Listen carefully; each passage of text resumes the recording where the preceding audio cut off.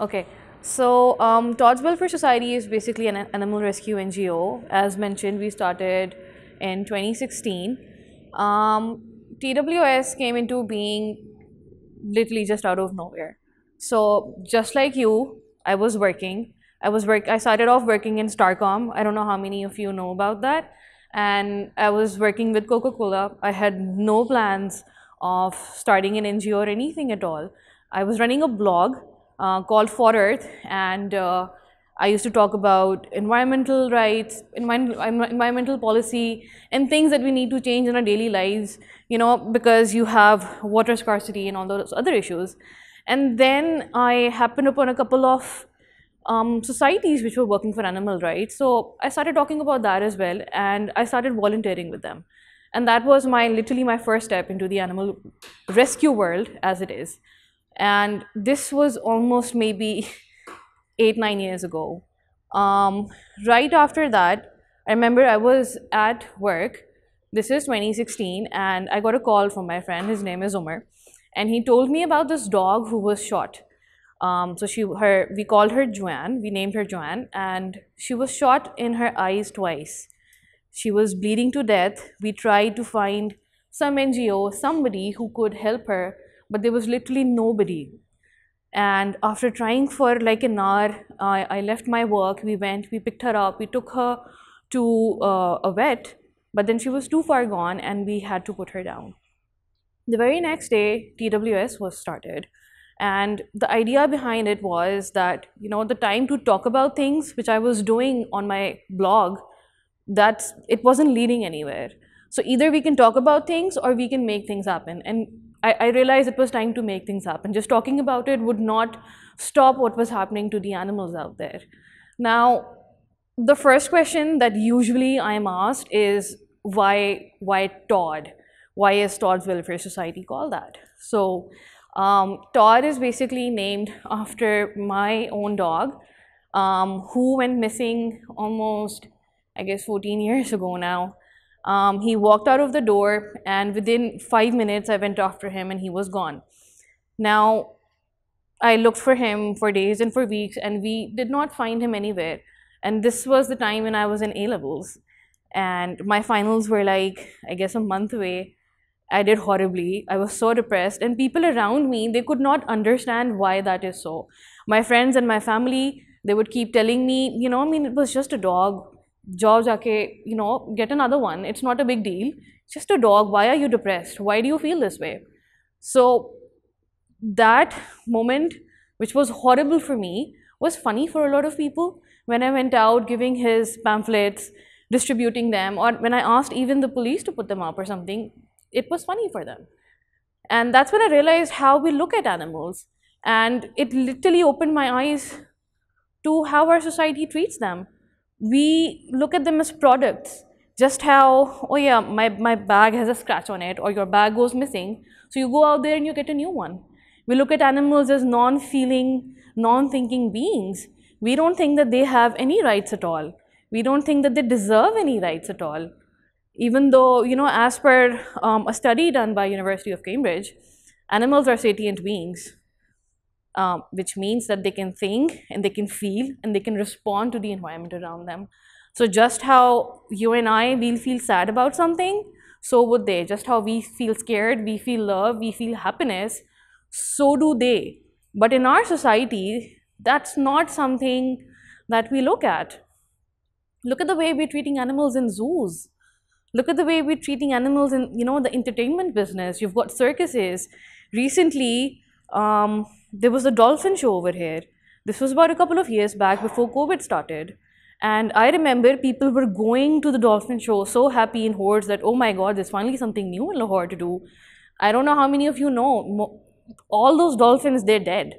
It's been, what, it took them two years and they all died because animals do not survive in captivity. Um, one of the famous cases that we usually do talk about is Kaavan. I don't know, uh, do you guys know about him? He's the elephant from Islamabad. So he was documented um, about five, six years ago, maybe, maybe even no, I think this was about eight years ago. So somebody went to Islamabad Zoo and they saw this lonely elephant standing there who was just moving his trunk left and right, left and right. And when they asked his caretaker, why is he doing that? He said, oh, he's happy to see you. So, you know, he's swaying because he's so joyous. And, but then that person there, she was a vet herself who was working in America.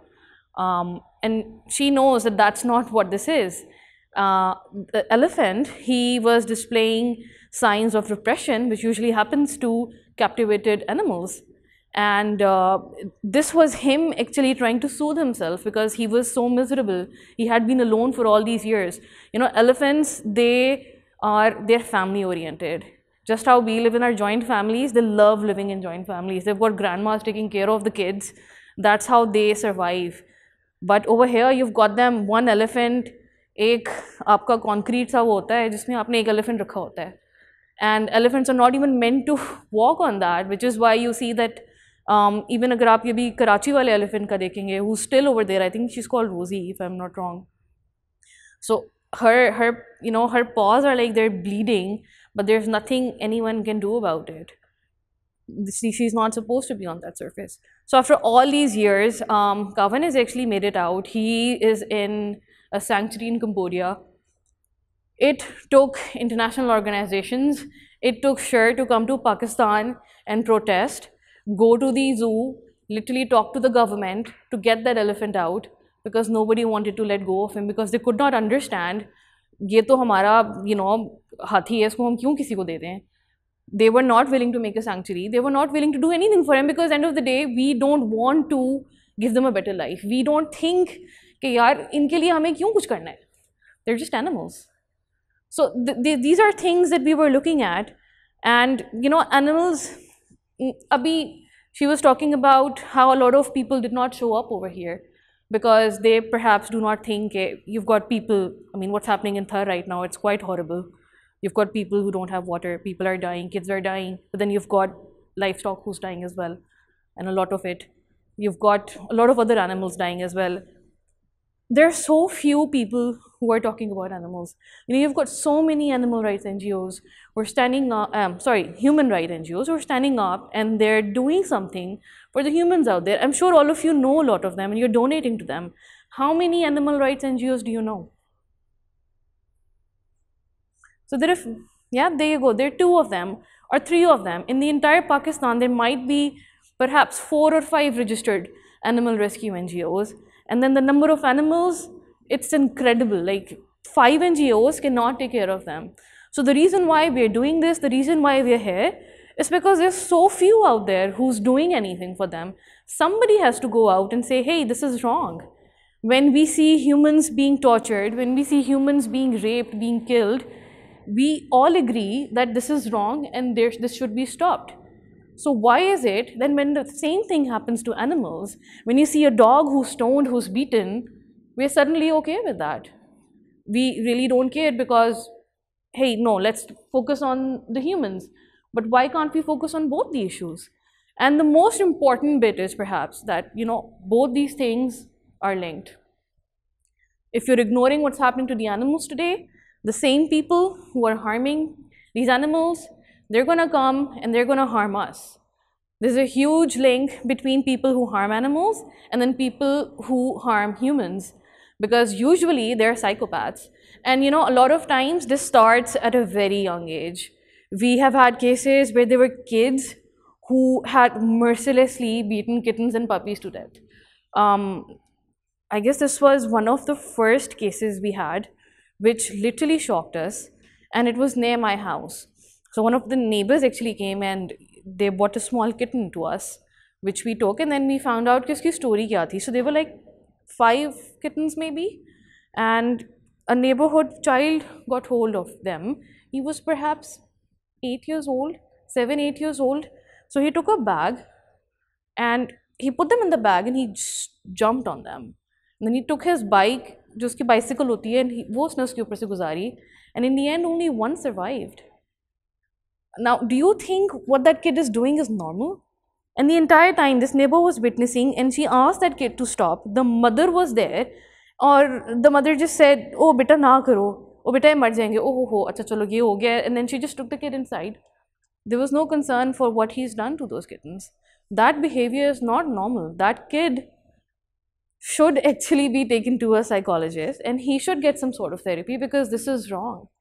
And I mean, when you look at terrorists, when you look at rapists, if you look, if you, you know, study psychology, if you look back at it, these are the people who are doing this. They started somewhere and they started with the animals who could not tell anybody because they're the easiest targets. All psychopaths, that's what they do. Right?